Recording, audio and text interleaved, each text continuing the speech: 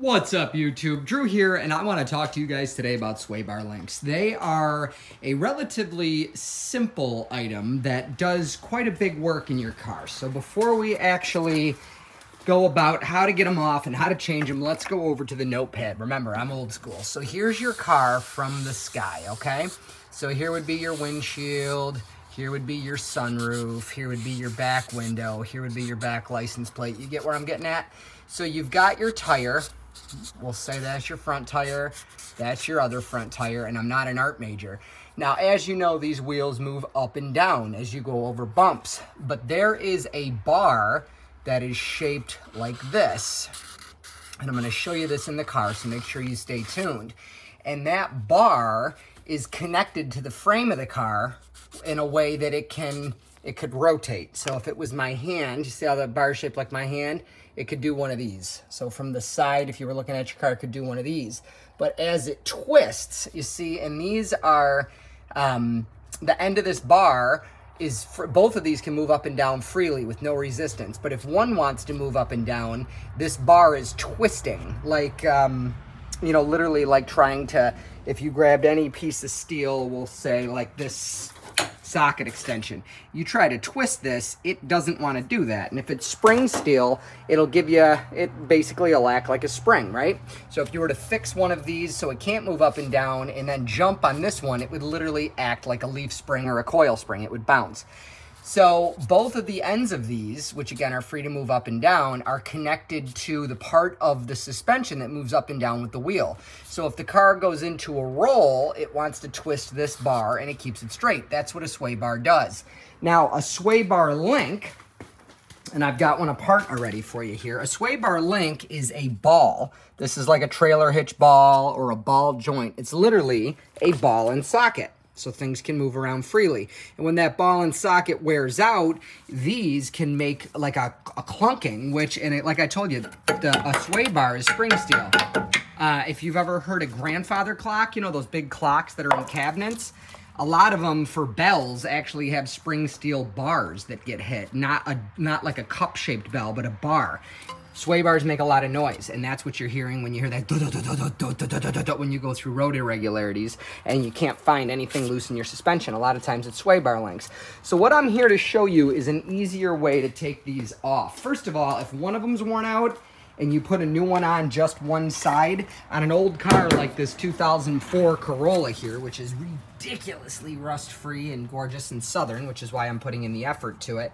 Uh, if you replace one of these, chances are the one on the other side is going to go bad in relatively short order. So what I'm here to show you is a lot of times what I like to do, because the nuts and bolts are hard to work with after age, um, you know, on a maybe on a California. This this car is from like Maryland, right? Maybe on a, a California car or uh, something like that. Or actually, excuse me, this car is from Long Island. They only get about 15 inches of snow a year compared to the uh, 120 inches we've averaged since 1860 up here in Rochester um, nine hours, eight hours, nine hours away. Um, but say say you had a car from like you know Florida or California where they you know it's never been exposed to any kind of road salt. You could put a, a five millimeter in the end of this and take the bolt off. And this is going to apply to a lot of different cars. Those might not be you know, it might not be the same design, but a lot of times, most times, sadly, if you're anywhere north of the Dixon, Mason-Dixon line, you have to cut these off. So what I like to do is I take my cutoff tool and I go straight in like this from the front and slice the stud and the nut in half. And then I just get in there with a chisel. And I shouldn't, uh, shouldn't have to show you this, but um, you know, so just you get into your cut you made with a chisel, hit it with a hammer, and then tap this back closed, and the nut should just fall off. Well, since you know now that you should do both sides, I wanted to show you a trick.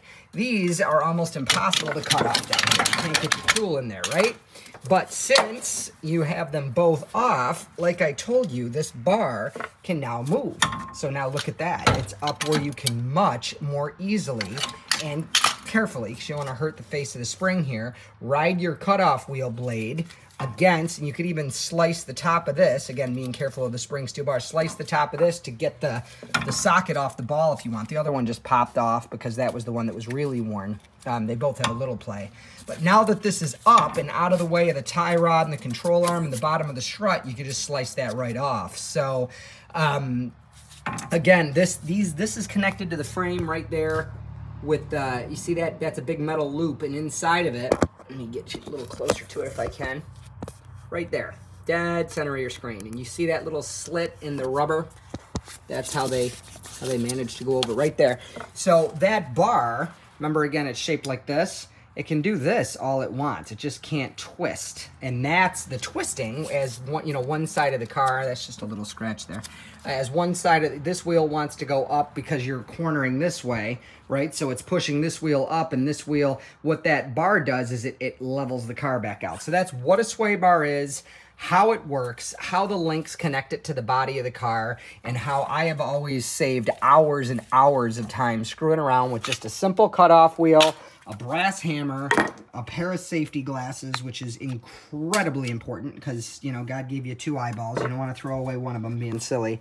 Um, and just a plain chisel or a flathead screwdriver if you're desperate. The handle will probably break and then you'll have a chisel, right? But anyways, not really because this is hardened steel. So I'm sure at some point if you're watching this, you had an aha moment. That means you like it hopefully, and I would be absolutely grateful if you'd give this video a thumbs up. It helps show the internet that this is good content. It shows more people, which blesses them and also blesses me because, of course, the more views, the better. That's why I put this stuff up here for you guys, trying to build the channel. So again, if it was helpful or if you liked it, please give it that thumbs up and consider subscribing to the channel for more tips like this. There's a lot of Corolla, um, and Prius specific, old school Toyota specific content, but there's also just these general tips. So even if you're like a Chevy guy or gal, whatever, go ahead and subscribe. My wife drives a Chevy and I'll be working on that. So there you go, right?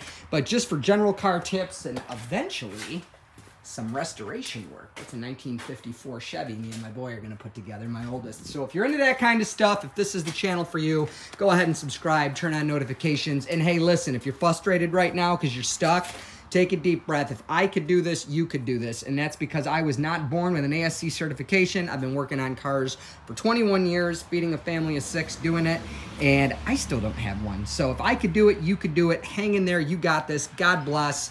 Take care and see you on the next video. Bye-bye.